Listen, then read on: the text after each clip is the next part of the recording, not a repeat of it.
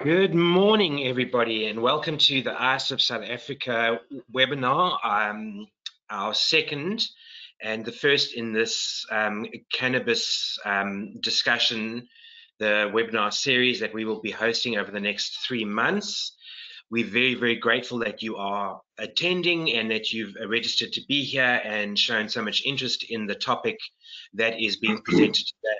Um, we hope that you find it as interesting as we have found it. Um, and, and the, a lot of the questions that were posted in our previous webinar related to the hot topic of cannabis legalization in South Africa and hence we've invited um, our um, esteemed colleague Dr. Lo uh, Tim Laurens to present on cannabis testing in the workplace. Please remember if you if you have not registered as an ISSUP South Africa um, member yet, please feel free to do so by logging on to ISSUP, the ISSUP website um, and um, registering as a member of South Africa, the South African chapter. So welcome and um, thank you for joining us. Um, to start with, I'm going to do an introduction on Dr. Tim Laurens. Dr. Tim Laurens is a senior lecturer and manager of the Forensic Toxicology Laboratory at the University of Pretoria, as well as the director of the Point of Care Technologies, which specialize in drug testing and related technologies. Uh, Professor Laurens has numerous qualifications, including holding two doctorates um, in chemistry and medical law. He has 38 years experience in forensic toxicology and has acted as a consultant for the United Nations on forensic laboratories in Africa, as well as for the Department of Health on forensic toxicology related matters. He has specific uh, research interests in forensic tox toxicology and drug law at the interface of science, law, and ethics. On top of this, he's published 25 research articles in review in peer-reviewed international scientific journals. And for those of you who are interested, uh, two of the latest articles related to the topic of the lecture that we're discussing today. The first one is posted in the South, South African Medical Journal, and that is on cannabis legalization and testing for cannabis use in safety and risk sensitive environments.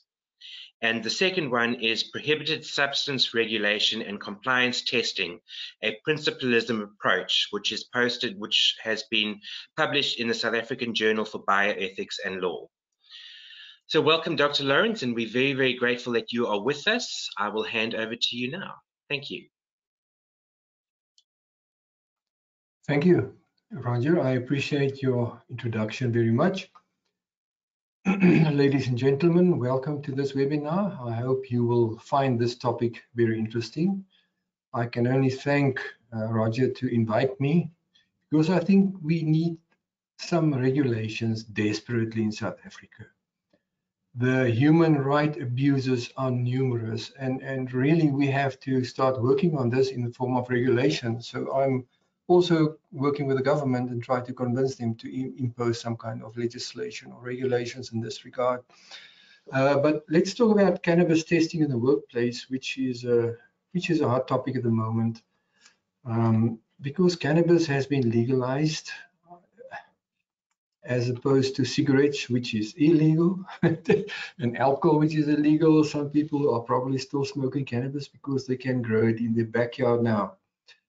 Uh, let us talk about cannabis testing in the workplace. And uh, yeah, okay. So, but before I really start with the lecture, I need to acknowledge my colleagues who over many years contribute to my work as well. And first would be the forensic lab, which is accredited. And the ladies there are Nompilo, Sympathy, and Miss Malie Shortown.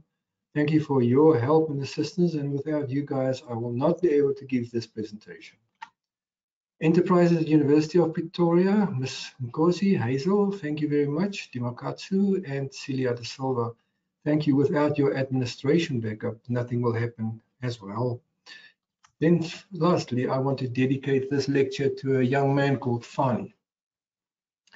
Fani is a, a, very important person in this lecture, and he actually uh, inspired the case study that I'm going to, to read to you. I changed his name and also the role players, so it, it's actually a changed case study. But Fani, uh, thank you for this, and, and sorry about what happened to you. Okay.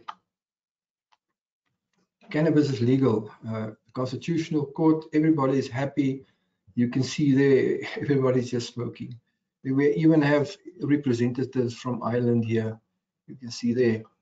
Uh, so, yeah, let us let's approach this with caution because uh, it is a dangerous situation. But let us compare this situation, this legalization, and the events that followed the legalization with alcohol. Uh, what happened with alcohol? I like the history of alcohol. Like 10,000 years before Christ, brews were viewed as food. And at 4,000 years before Christ, wine was made from berries and honey. So the Chinese also, I don't know if you can see the pointer here, uh, they, they also used alcohol for tiredness, hospitality, and also it was also misused.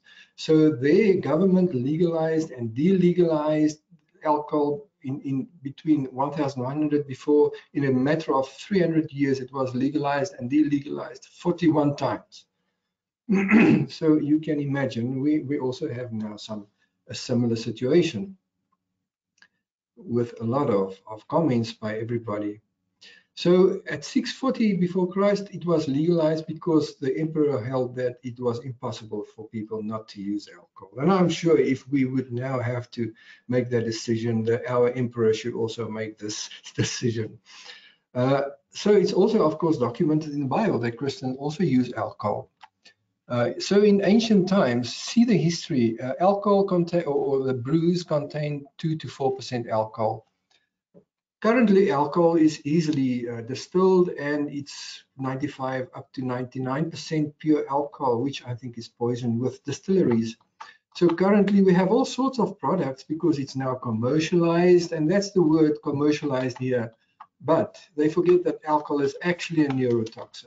It is a very strong neurotoxin. It kills our brain cells, especially young people under the age of 23 years old. Tobacco. Let's see what happened with tobacco. There you can see how it was advertised. More doctors smoke camels than any other cigarette. That was in the 1960s. You can see how criminal the advertisements were. Uh, there was also a physician with Lucky Strike and Chesterfield. So these names are well known. Uh, they are still in the market. Kent, you can see those names. Uh, I regard this as criminal. If I was a clinician during that period, I would, I would be very ashamed. Tobacco, now everybody is smoking. It's so easy to smoke and to get hold of, of cigarettes. And you can see the effect that it has on the lungs of a smoker. Now let's look at cannabis. So what, what you can see every time you, you will see that it gets legalized and it's normally driven by, by business and then, then it goes out of control. So you, you see that with cannabis currently in our country as well and internationally.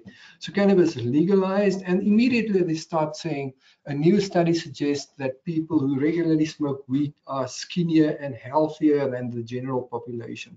Skinnier maybe, I believe, because it's actually unhealthy. Uh, but healthier, I don't know. I don't know, I doubt that. And they even have this new medication, cannabidiol, uh, cannabidiol looks very similar in terms of molecular structure to, to the active psychoactive component of the cannabis plant. There you have the THC, the delta-9 THC. We will talk about that a few times, but now they claim this is medication.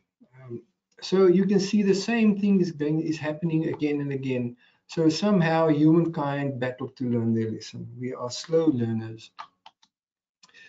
So they claim cannabis is natural. Perhaps before the 1990s it was natural. Yes, normal cannabis contained 3.7% delta-9 THC, and then the sinsemilla, which was really the, the, the high-grade cannabis, if I may use the phrase, 7.5% active.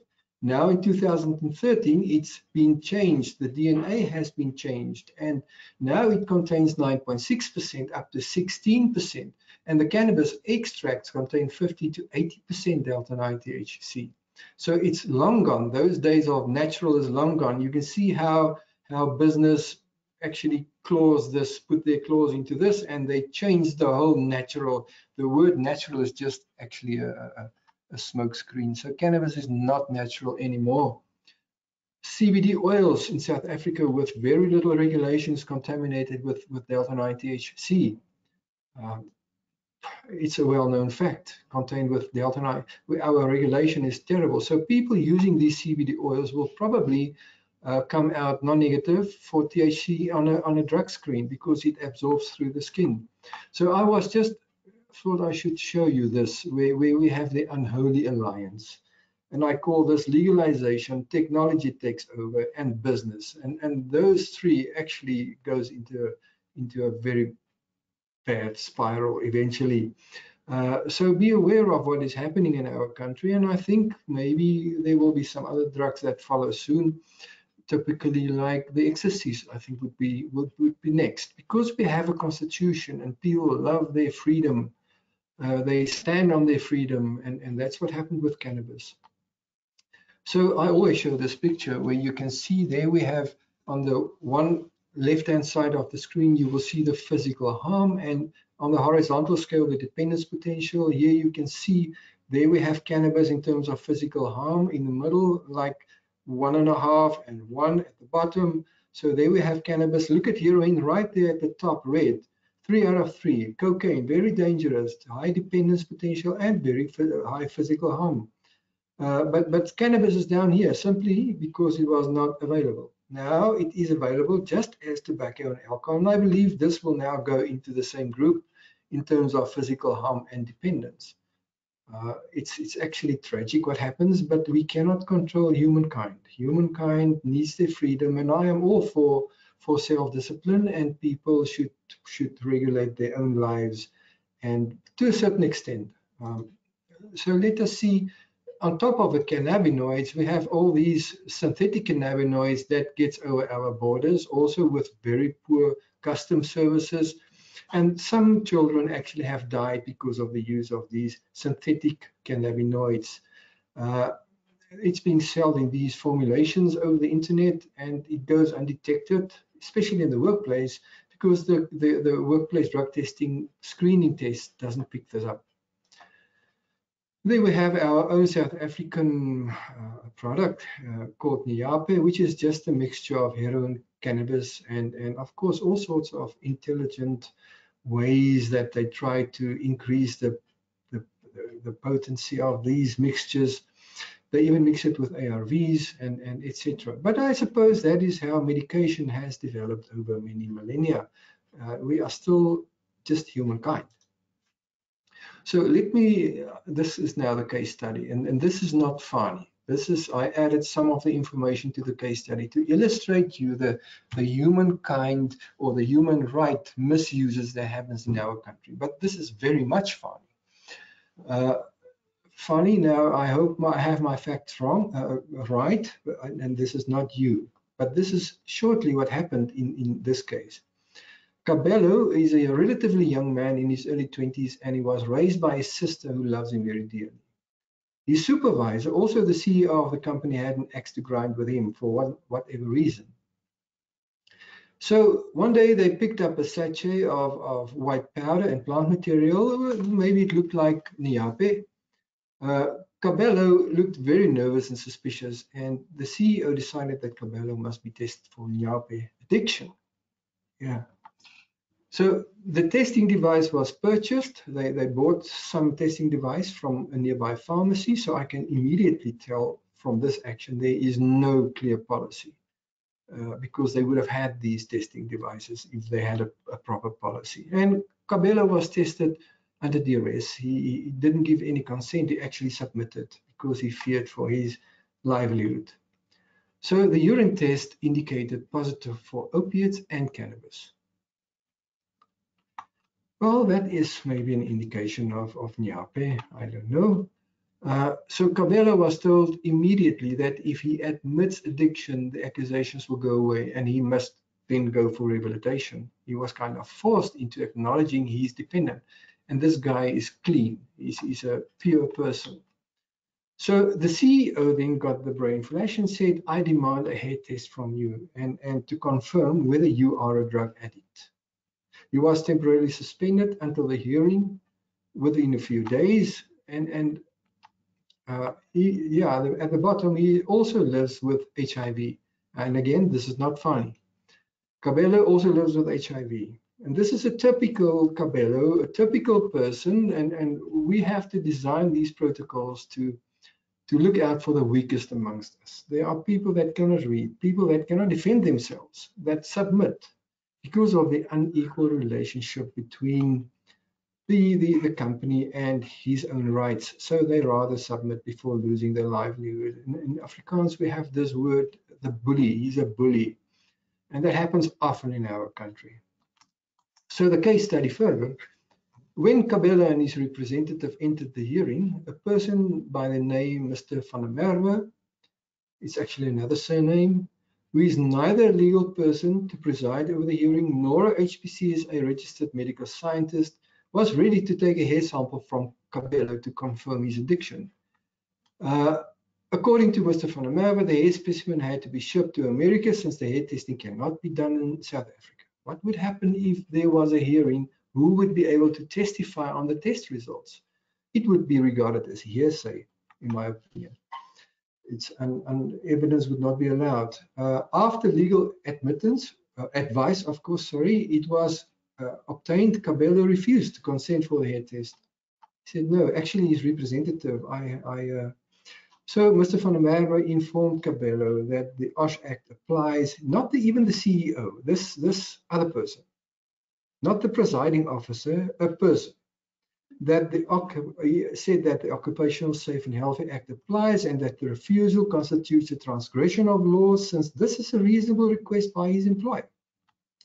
Out of obedience, and since he was afraid of needles, Cabello did, however, submit for a head test at the Forensic Toxicology Lab at the University of Pretoria. The test results were all negative. Cabello is still employed by the organization. However, he considers legal action against his employer for restitution, but fear he may lose his livelihood. You can see the unequal relationship. It's unsymmetrical. It's, it's a really bad situation uh, and and it's these people get away with murder. So uh, to solve this equation or, or, this, I, I nearly said equation, to solve this dilemma or this problem, one have to look at the ethics, the science, and the law. Uh, they should all work together. It's like a symphony, you know.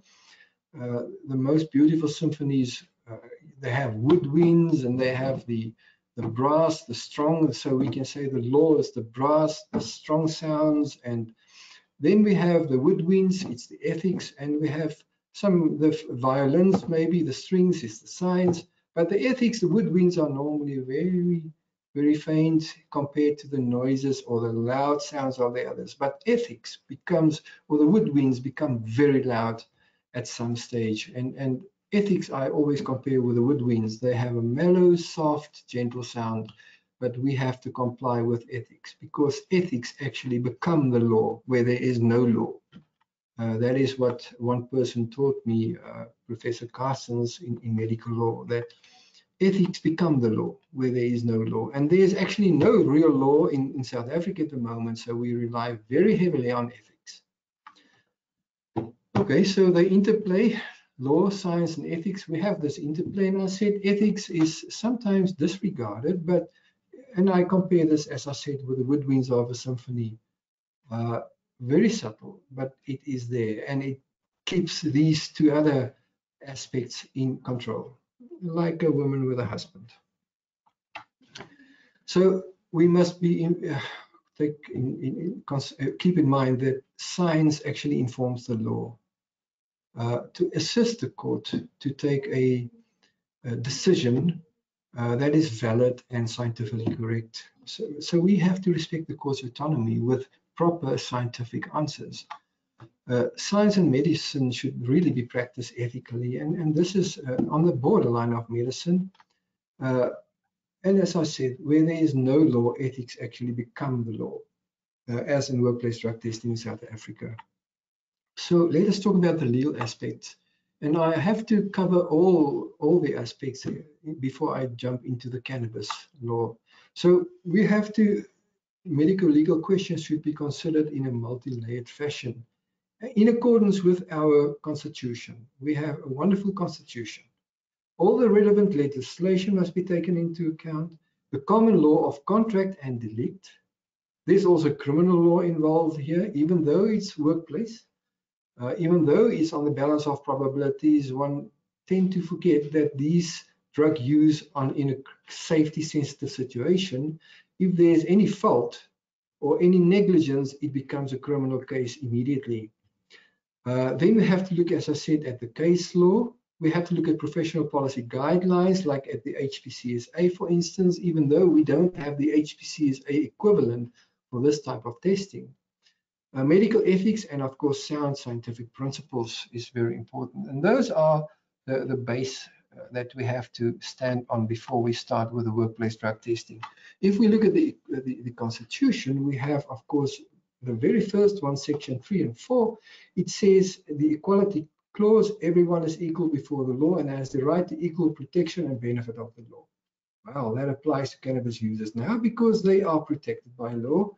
They have the right to use cannabis. How do we accommodate this this part of the constitution in, in, in their cannabis use habit? It's legal. They are not labeled outlaws, uh, similar to alcohol. How, how are people treated when they use alcohol? Secondly, everyone has inherent dignity and has the right to have their dignity respected. There we have the references uh, chapter 2, section 10. The Constitution guarantees our right to privacy, bodily and physiological integrity, meaning we have to give consent. We have autonomy about our bodies and we can decide what we would like to do with it. Nobody can tell us. Freedom of religion, belief and opinion, very applicable to some Rastafarians.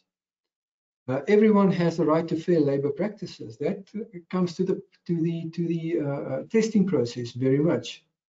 Uh, due process, of course, just administrative action. Due process. There we have Section 33, a very important clause in the Constitution is Section 36, the limitation of rights clause, and I will show you now what that means. Uh, of course, we can also look at foreign and international law in the process of interpretation of our Bill of Rights. So we can have a look at countries like Canada or America, where we also have where they also have a human rights-based type of constitution and approach. Other common law countries where drug testing is done, so we can actually see how they do it and copy that as long as it complies with our constitution.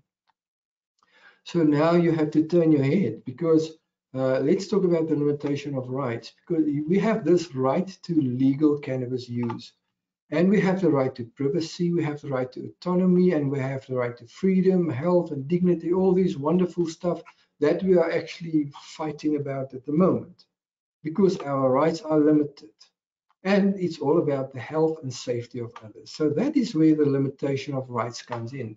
It balances our own rights to autonomy, privacy, and freedom and health the health and safety of others in certain circumstances are just as as important as our own rights. So the, the, the, the limitation of rights clause is important in this case, but one must be able to motivate. One must, you cannot simply limit anybody's, there's some, some, some, some, some prerequisites before you start limiting other people's rights. Okay, and then of course we have to look at the common law, common law of contract. Uh, well, every employer and employee has a work relationship contract, and they should have a policy which should determine the rules of a drug and alcohol-free workplace since it is a contract between the employer and the employee. And if you don't have a, a policy, then I, I, cannot see how one can enforce any drug testing. Uh, law of delict, uh, of course, very important, where some wrongs are performed against a person, maybe delictual liability by the employee or a vicarious liability by the employer. That is very oftenly forgotten. People forget that the employer is also liable uh, if he doesn't have a proper policy and a proper drug testing program. In case of fault, a criminal action may also follow for both the employer and the employee.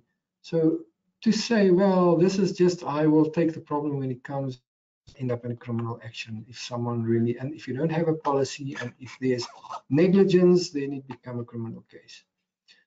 So we should have a legally defensible policy, and that is critical. The labor court sees a legally defensible policy as a guideline. So this guideline should actually describe a pseudo-judicial system and, and due process must be followed. It's not simply one sentence, you may not use drugs on our premises or you may not, drugs are prohibited. It's, it's an extensive document. Uh, if you don't have that, you may end up in trouble, uh, especially the employers. And employees, you must also push your employer for a for a policy because they tend to neglect this. There's no policy, then there's no way you can get tested.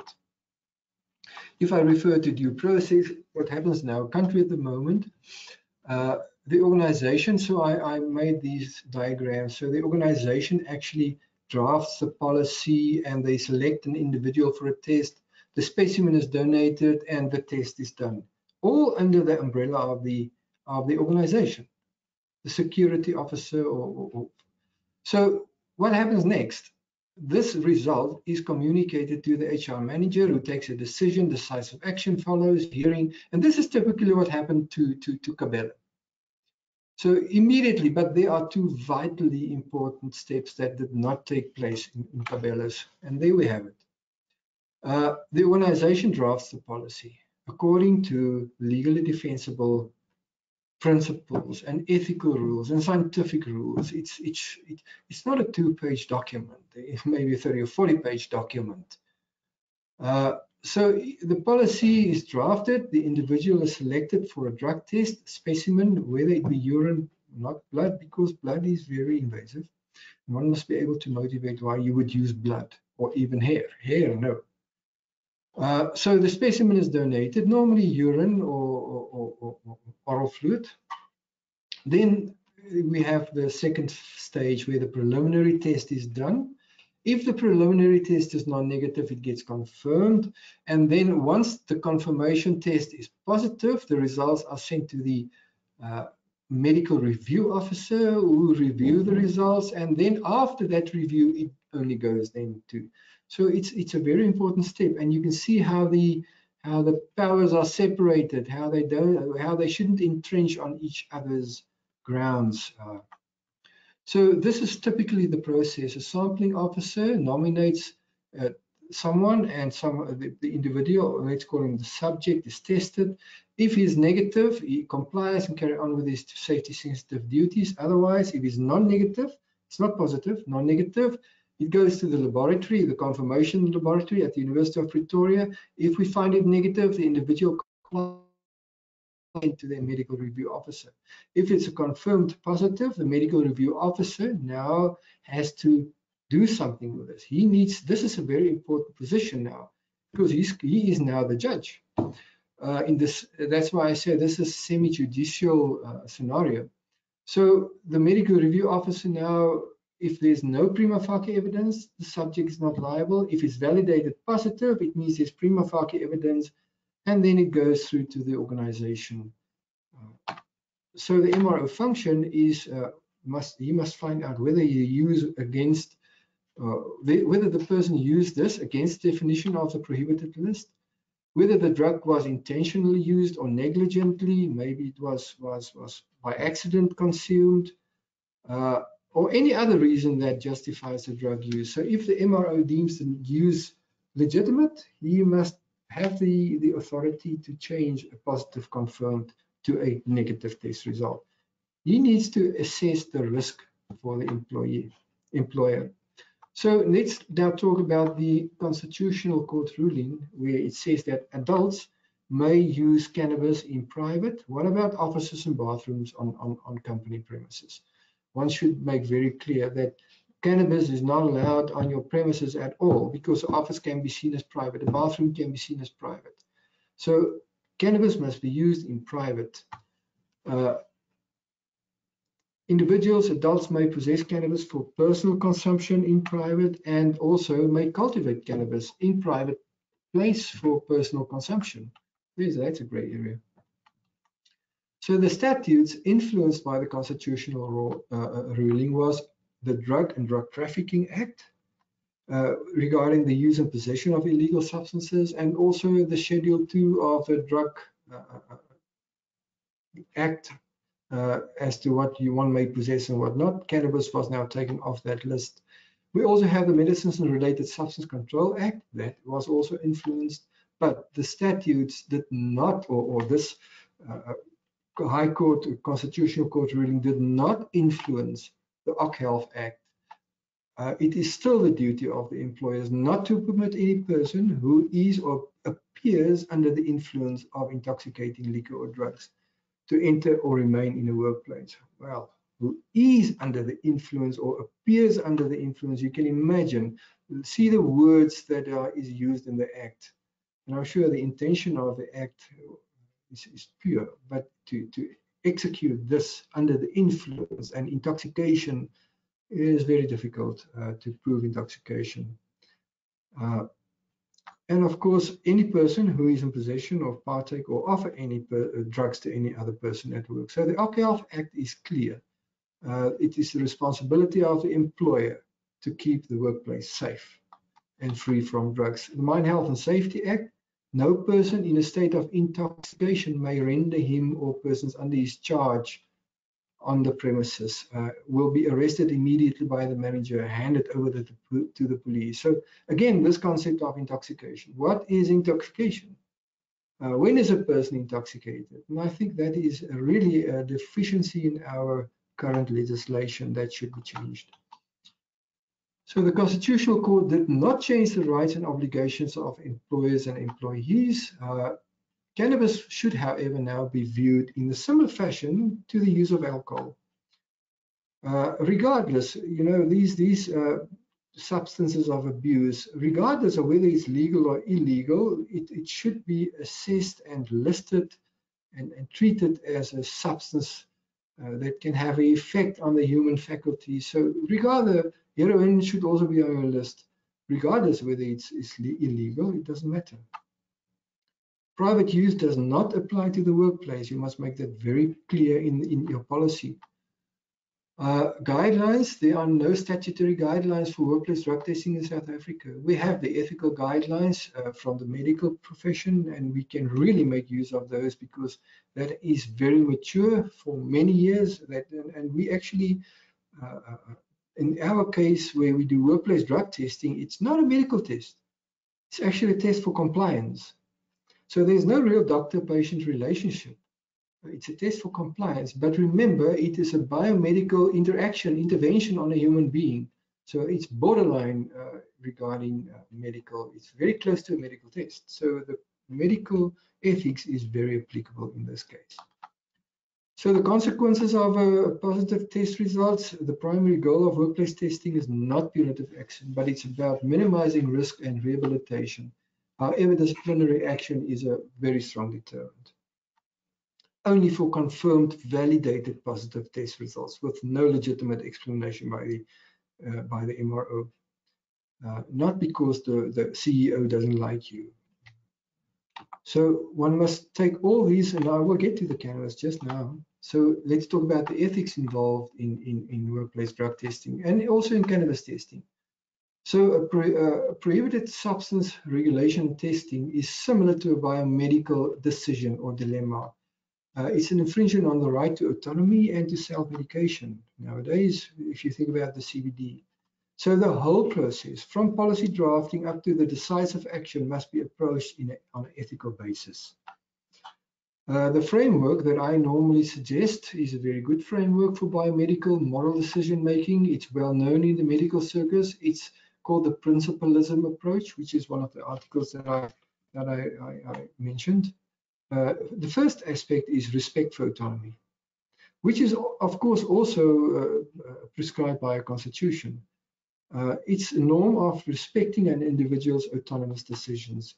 Uh, non-maleficence, a norm of avoiding harm, and it is unlimited, no harm. In, in the medical terms, they use the word primum non nocere, means no harm whatsoever, unlimited. Beneficence may be limited depending on the, the, the benefits uh, when you balance the benefits against risks and costs, for instance, but benefits is to do good. do good. So respect for autonomy, don't do any harm, do good, and justice. Uh, the, and I'm not only talking about the law here, the justice is, is more than only the law in, in ethical terms. So autonomy and authority, what happens if a person now refuses to, to donate a specimen? Uh, there's a there's a conflict here because between his autonomy and the, the interests of health and safety. So the individual still have a choice to belong to the organization and he should be informed that he can withdraw at any stage, but this will have serious consequences in the real world. Uh, you can withdraw consent at any stage. If you're on the operation table, you can withdraw your, your consent, but you will have to pay for the operation room, for the theater. It will have consequences, but you can withdraw your consent at any stage. You don't sign your life away with consent. Uh, it's a continuous process. Uh, as I said, it's not only a yes or a no answer. It requires time to explain consent and to weigh the options for the person, well, the, the test subject in this case. Uh, consent must be provided for the complete testing process. In other words, from the type of specimen taken up to where the specimen is being sent, sent to which laboratory, what part is going to be done by the laboratory, who's going to have access to the information.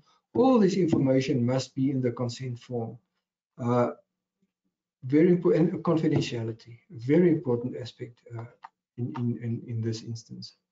Rules for non-maleficence, not do any harm, uh, do not maliciously disclose, for instance, personal information without consent from the owner of the information of the test subject test results is his information for instance another one. Don't use blood if a less invasive matrix test for for the test is available like oral fluid or urine. Do not deny an individual the opportunity to explain his or her positive drug test in an effort to mitigate the severity of the outcome. Give him a chance. You can see this is due process. This is all about fairness. A forensic scientist, and there are many people claiming they are forensic scientists in this country because it's, I think the name sounds sexy. It is not actually sexy. Uh, a forensic scientist should not disrespect the autonomy of a court or tribunal by not telling the full truth. Uh, that's part of a forensic scientist's professional responsibility. And we have many so-called forensic scientists in this country, ill-trained and ill-experienced and, and fly-by-nights. We have also some all sorts of forensic laboratories jumping up. I don't know what the future of this holds, but let us see. So a professional involved in a drug prohibited substance and testing program should not be negligent. There should be no negligence. We should really behave professionally. So we have to, let me skip this because I, I really want to get to the other stuff. Uh, we have to, in terms of beneficence, we have to protect and defend the rights of others at all costs. Do good. Prevent harm from occurring to others. Remove conditions that will cause harm. Have a proper policy in place. Justice. This was an interesting quote by Aristotle where he said, equals must be treated equally and unequals must be treated unequally. That's very true. Very true. Nowadays, we can say individuals should be treated the same unless they differ in ways that are relevant to the situation in which they are involved. How, if you think this has large, big consequences, not only affirmative action, but also in terms of discrimination in the workplace. So one can actually discriminate in a legal way against different groups depending on the risk imposed by their profession. So some people may be tested more often than others. However, we must be able to motivate that type of discrimination.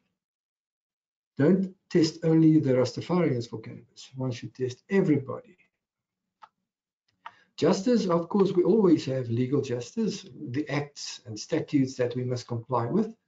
But this is now the ethical approach. So there are also rights-based justice, respecting basic human rights of the individual the procedural justice is the procedure fair you know uh, i showed you a slide of the procedure how it should happen is the policy fair uh, is it applied consistently is it ethically correct the procedures does it yield accurate and reliable test results uh, correctability in other words can one change uh, a decision is it possible And also, can one assist someone with rehabilitation? That's what we mean by justice. Uh, will the subject be forgiven? In other words, will a drug violation be deleted from his file afterwards? Uh, that's all about justice. Then there's social justice. People's perception of fairness. It's, it's also a type of justice. And of course, the way we speak to other people in, in this scenario, the voice effect, has a very big impact uh, on, on, social justice and, and how people perceive the justice. So that is about the ethical aspects. Constraints in ethical decision making. Uh, there must be sufficient reason. Just a few examples. There must be sufficient reason to act on a norm which is viewed to have a high priority in a specific case.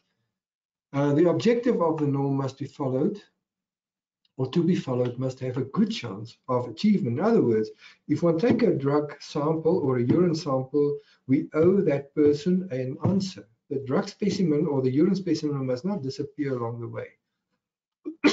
or the test must be done and he must get an answer. Uh, so there must be a good chance of achievement. And if we start doing drug testing, uh, we must do it because we want to limit and increase the health and safety to others. So that's what I mean by achievement. There must be no other morally alternatives available. The example of a blood sample versus oral fluid or urine, less invasive specimens.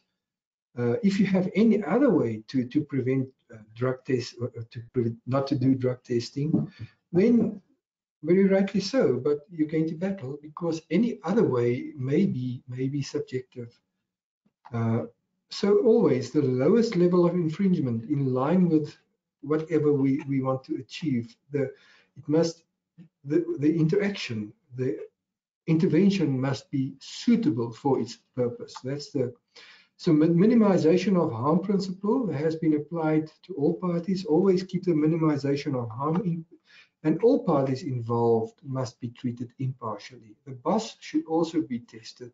And even the CEO, the strongman, uh, in, in Cabello's case.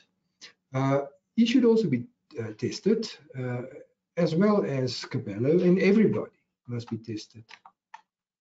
So that is the, the ethical part. Now let's look at the scientific aspect. And, and I, I, think this is very exciting because we are entering an exciting phase of the presentation now. So the scientific aspects. Uh, how do we identify a prohibited substance user? Firstly, maybe by sobriety testing by human observation. However, uh, you know, it's it's difficult to observe someone is already impaired, and I didn't say intoxicated, impaired by lack of a better word. Difficult to to judge someone's level of impairment if if we have to do it with, by observation. And then you know that can be a clinical test regarded as a clinical test. The doctor must perhaps do this sobriety testing. However, sometimes the labor court also uh, accept uh, uh, witnesses, eyewitnesses, but it's very subjective, uh, and it is also subjected to to uh, uh, tar targeting a person unnecessary. Uh, so intoxication to identify an intoxicated person, unless he is really drunk already or under the influence, uh, he can do much harm even long before that point. So Chemical detection is, of course, a very objective way which can actually raise a reasonable objective suspicion with a chemical test, preliminary testing, as well as confirmation testing by the forensic laboratory test, uh, with a confirmation technique, which is not on the same level as a preliminary test. So let's talk about the uh, metabolism of delta-9 THC. That is the psychoactive compound of cannabis delta-9 THC. So if one smokes cannabis, we have a rapid absorption of the delta-9 THC through the lungs into the bloodstream. Uh, the concentration of delta-9 THC raises to 160 nanograms per million blood within nine minutes. It's a rapid absorption. And I think that is probably also responsible for the dopamine release because that rapid increase, the feel-good feeling, uh, within nine minutes and it declines by 10% every one to two hours from 160. This is just uh, rough estimates. So the delta 9 THC, the psychoactive constituent, distributes to the lipophilic tissues. It's a very lipophilic compound, meaning loves fat, fat loving. So it goes to the brain, to the fat compartment of all our bodies have has fat, not only bigger people, skinny people also has amount of fat. Otherwise, we won't be able to function. It goes to the muscle. So the peak psychoactive effects of delta-9 THC lag behind the blood peak concentration by 20 to 30 minutes, more or less. Uh, so in other words, 29 to 39, 30 to 40 minutes, the peak psychoactive effects kicks in. So we have to look at the metabolism. The delta-9 THC is absorbed and it goes into to the liver. It's then converted into another psychoactive metabolite because it's now changed uh, to become more water soluble, and then it's changed to to to, to the carboxy THC, which is excreted in urine, but this is also a psychoactive co uh, component, the 11-hydroxy-delta-9 THC. But you can see how the body is actually geared to, to detoxify. And this is the substance that we detect in, in urine.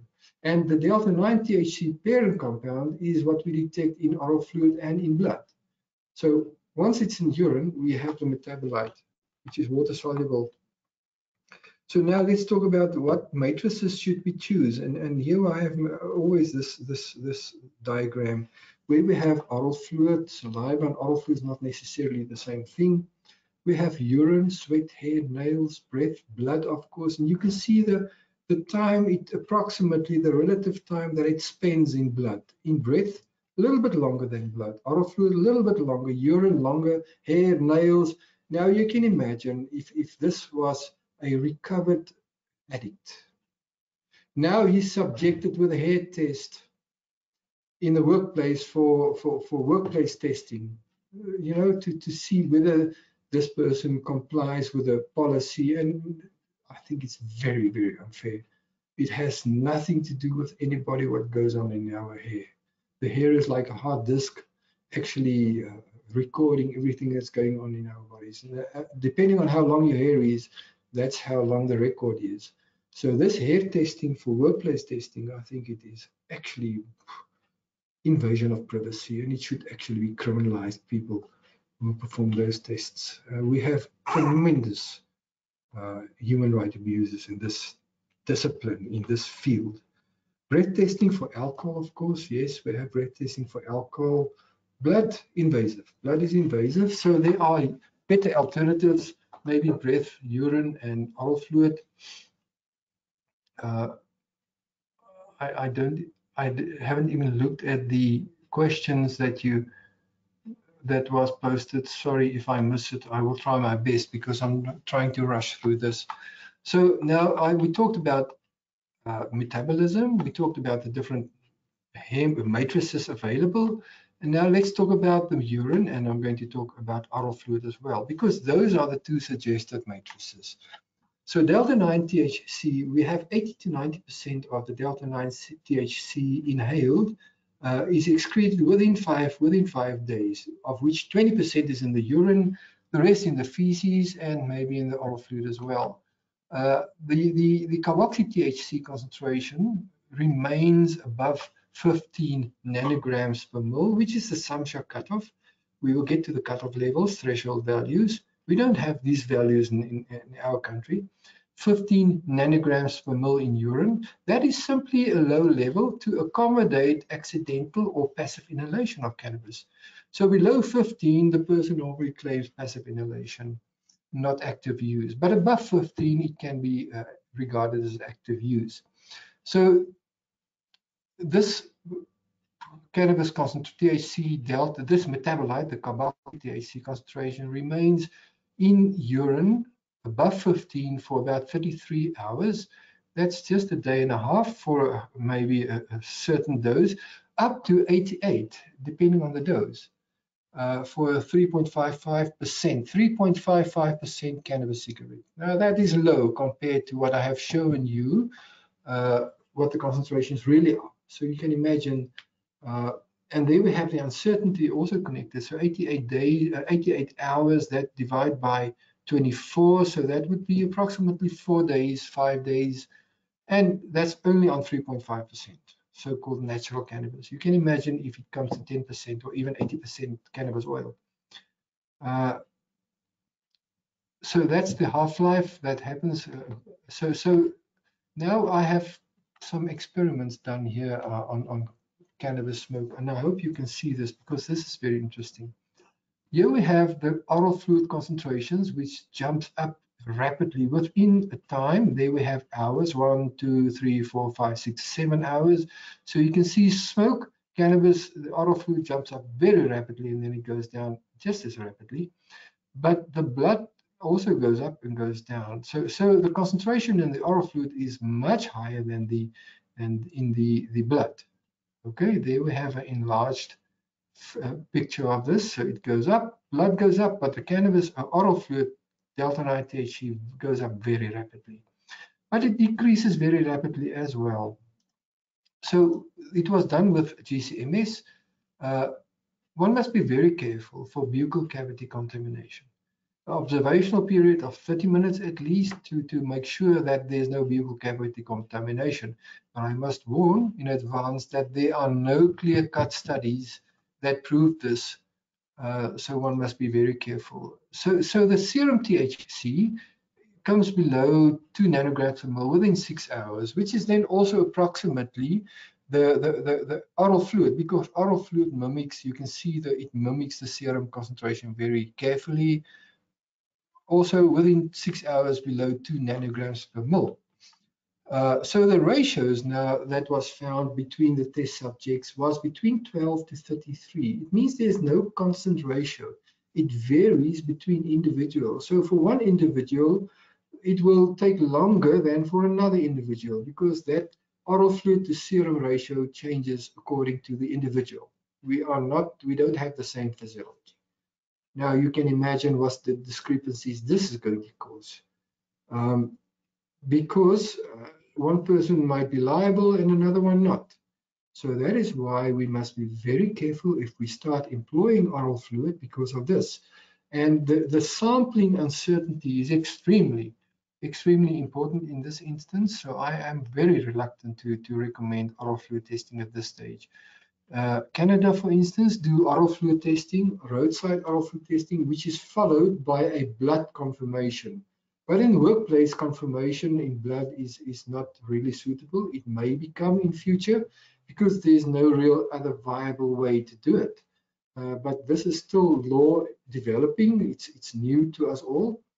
Of course, one can then say, well, let's confirm in urine. But remember, urine may lag way behind oral fluid. It may lag behind five days, 10 days. So uh, how do you now prove that the person is now impaired at this very moment? Uh, it's a difficult issue. Just to show you, this is just the how the how the, the, the data changes with time.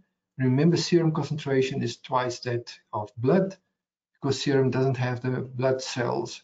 So you can see how they correlate, and this then suggests that oral fluid is a is a good marker uh, for for for uh, cannabis use within five to six hours one can actually detect observe the 30 minute uh, period. But i think we can expect lots of legal challenges because of this uh, oral to fluid serum ratio.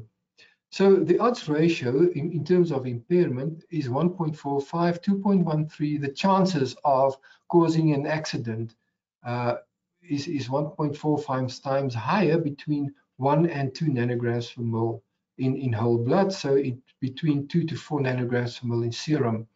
Twice as high for maybe between two and five nanograms per mil, and up to six times higher for concentrations in whole blood or in serum larger than 10 nanograms per mil.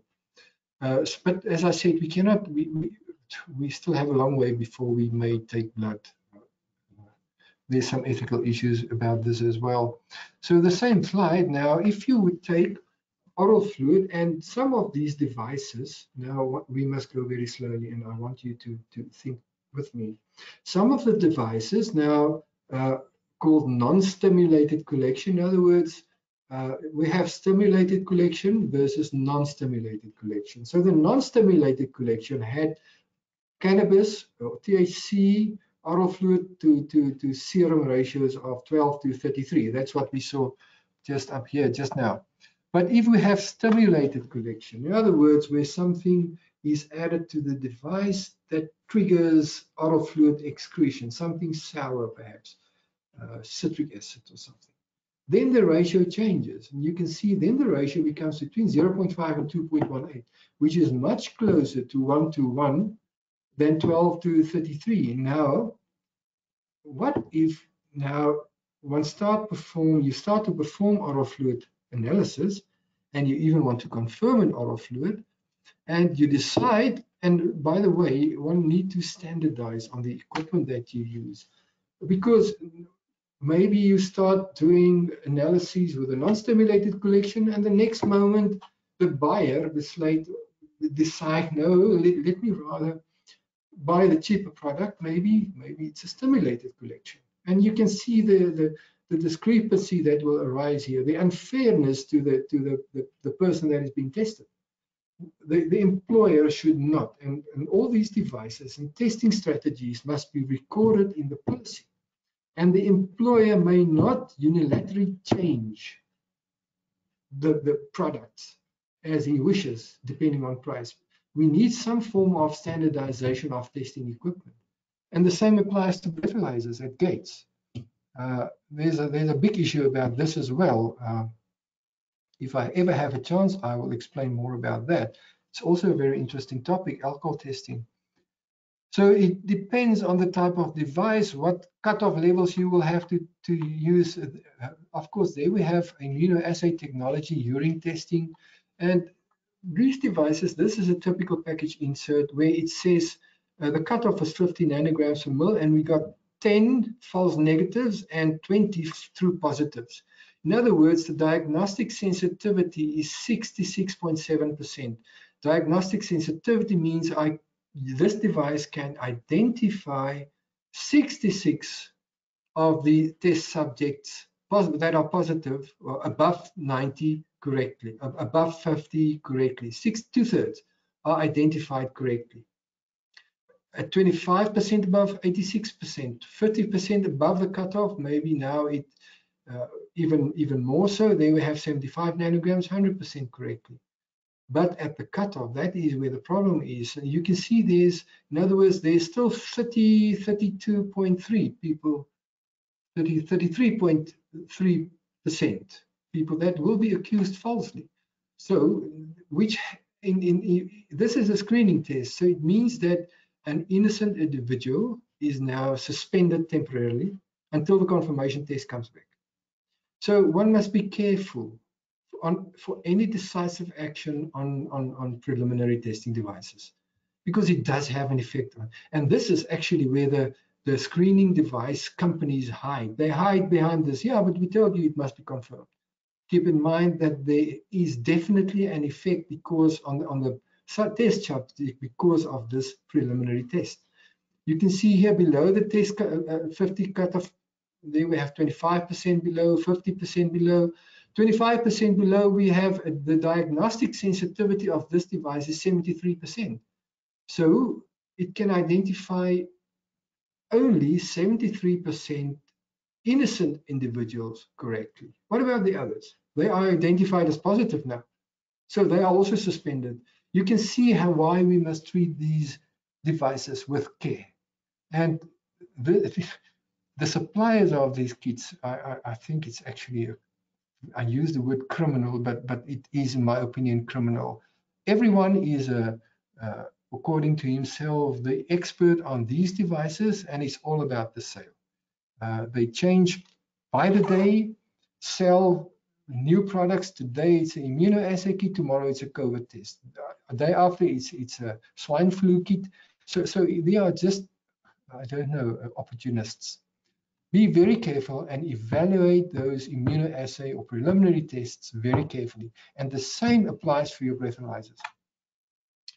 Okay, now for that, uh, let, and, and then of course they reason, some, some even some doctors, medical doctors reason, ah, but it doesn't have to be so accurate because a labor court case is just on the balance of probabilities. You know, there's no difference in terms of quality, balance of probability or criminal beyond reasonable doubt, it has an impact on an individual. So even if it's on the balance of probability, there's no difference between a criminal sanction, maybe for instance, lose your license, versus lose your job. Uh, so, so this balance of probability and the perception that you need, you, you lower quality answer is more acceptable is, is also just not acceptable. It's unethical. Okay, so you can see there, we, you, if you want to use some threshold values for cannabis metabolized in urine and oral fluid, this is the SAMHSA cutoff values. There we have 50 nanograms in urine, 4 nanograms per mil, parent drugs in uh, oral fluid, and there we have metabolites in urine, 4 nanograms per mil. Uh, there you have it again, the 15 nanograms per mil, the THC, but we have international values. You can see in Australia, Belgium, Canada, etc., because this is the values that are used internationally, and our constitution allows us to use international law. Uh, and, and there you have all these devices. You can see the screening thresholds, 25, 15, 25, 10, 4, even this screening threshold. I don't know how these devices in our country can get to four because immunoassay in its current configuration is not able to do that. Uh, the confirmation thresholds varies between 2, 10, 2, 1, and they vary. Why do they vary? Simply because of the type of technology that are used. Uh, stimulated versus non-stimulated. So this is validated, it's standardized tests that are used uh, they have statutes, laws in those countries that which devices may be used. There's some standardization, but not in South Africa. We have we have uh, all sorts of reps, all sorts of companies. Everybody's just making a buck. And if there's a new product, they just hit the wire to China and import a new product.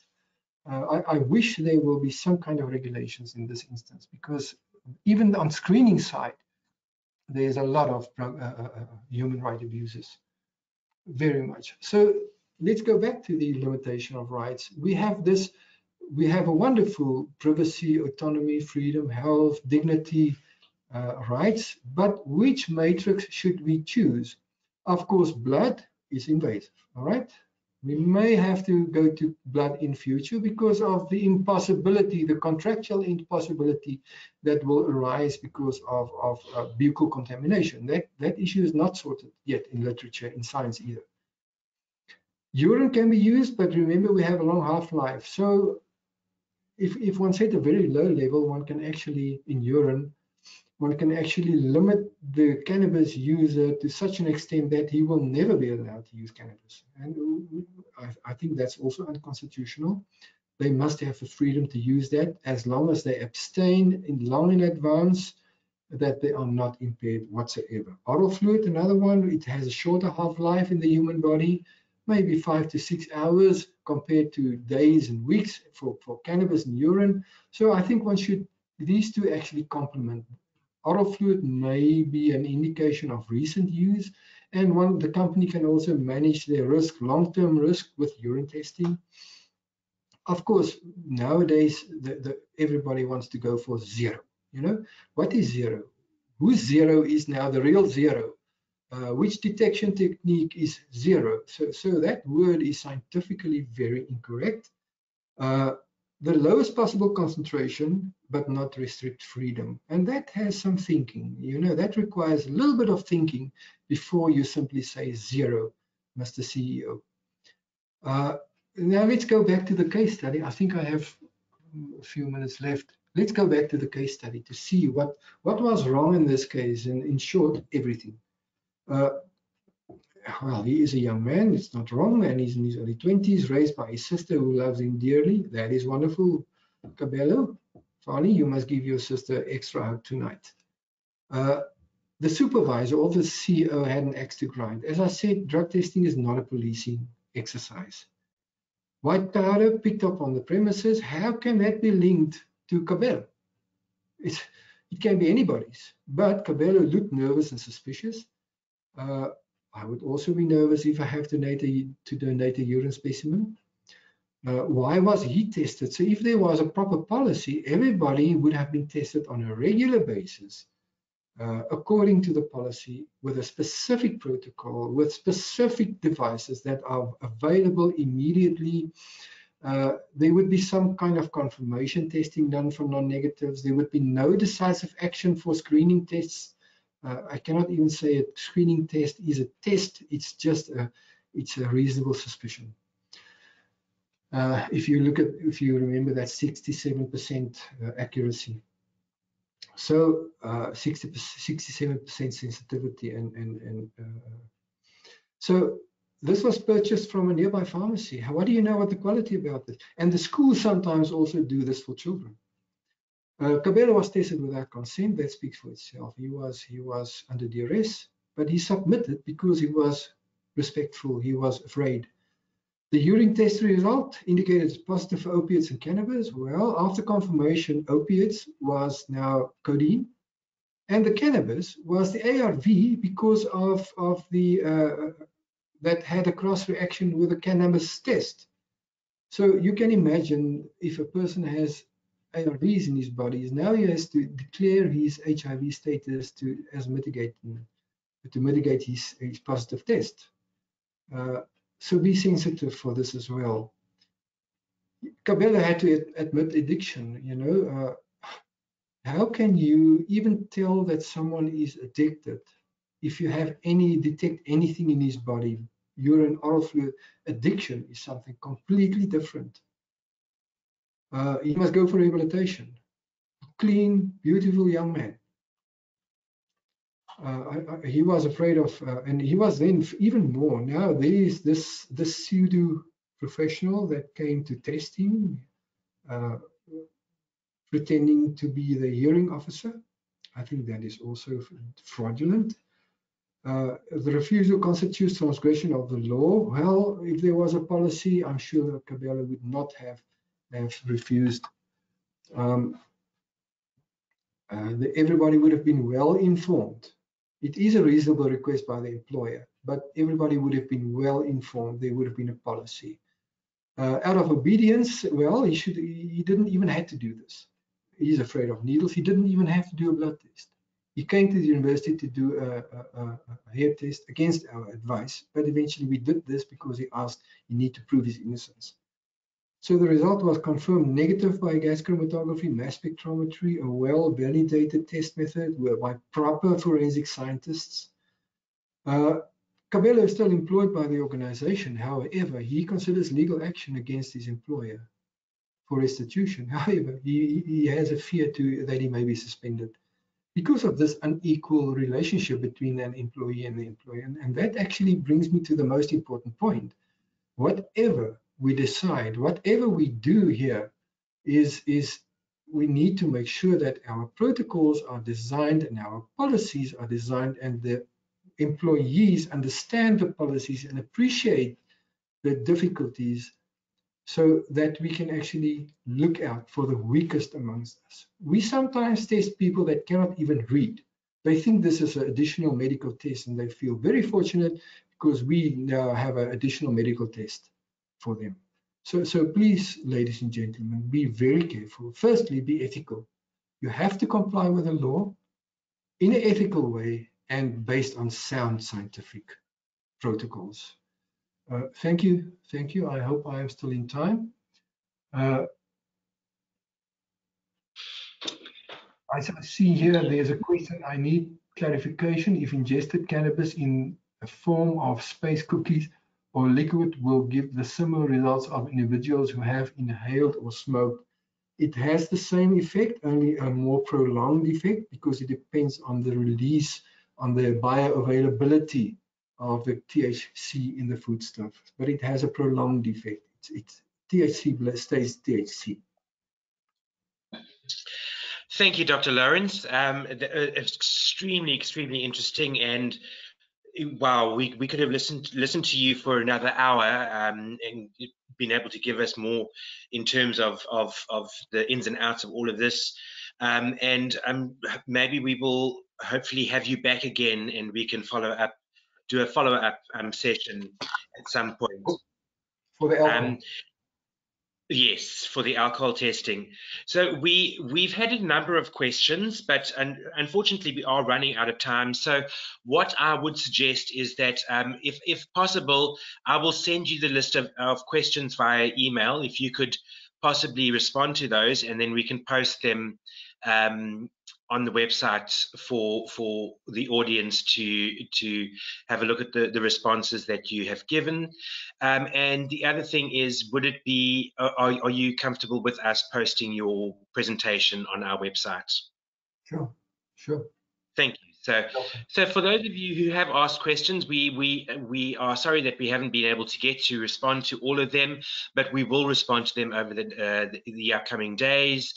Um, and please look out on the website um, where we can have um, we will have a um, a link to the recording of this webinar, um, so you'll be able to rewatch it or um, share it with some of your colleagues.